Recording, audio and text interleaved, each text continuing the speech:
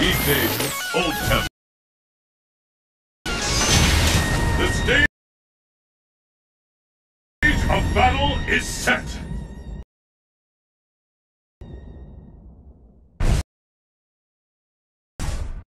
It's the battle of the century. Fight!